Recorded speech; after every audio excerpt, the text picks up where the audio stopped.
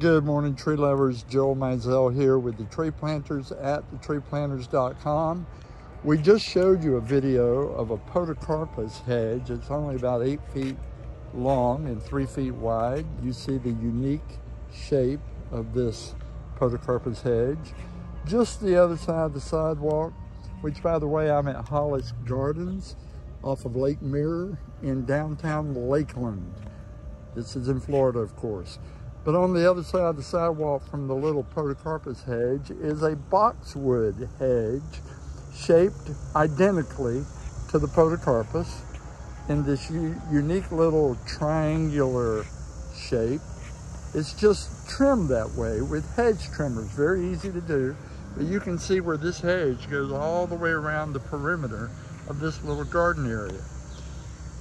So what we like to do at the Tree Planters is show our customers the things that they can do with plants and trees.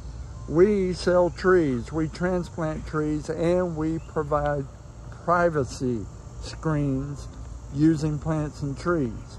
Those are the three things we do. That's all we do. We're not landscapers, we're not irrigators, we're not sod people. We sell trees and we handle trees.